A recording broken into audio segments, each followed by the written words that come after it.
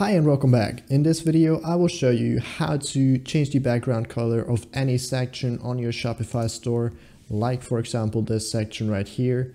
And uh, you can choose any color that you want. And yeah, there's two ways to do it. One might be better for you than the other. But yeah, so let's get right started by heading over to Shopify. So we're gonna click on online store right here.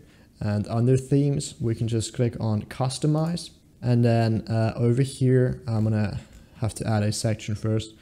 Uh, or actually, we can just use this featured product section right here. So let's just use this one. You can use any section as far as I know. The first way of doing it, and this might be the worst way, is to go over here where it says color scheme. And you can change the color here to, for example, accent one or two or whatever you want, for example, background 2. And uh, well, you can go over here to theme settings in order to change the color of that uh, background 2 is I think what I chose. So we can just click in here and change that color. Yep. And there we go. That's how you change the color.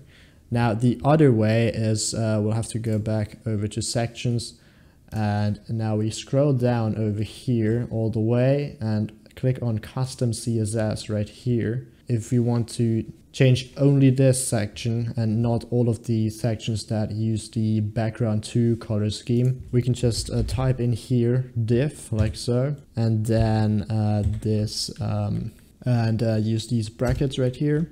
And then you want to type in background color like so, and then a colon and then you would uh, just type in your color for example red or let's uh, use blue so you can see it changing. There we go it just changed.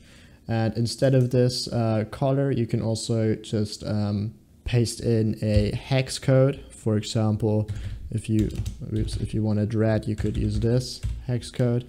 And you can just uh, search up on the internet to find a hex code for the color that you want or you can of course just use your um, brand colors if you have ones. Okay, so there we go. That's how you do it. Don't forget to hit on save and that's how you change it. And as you can see, once I refresh, it's also showing on here.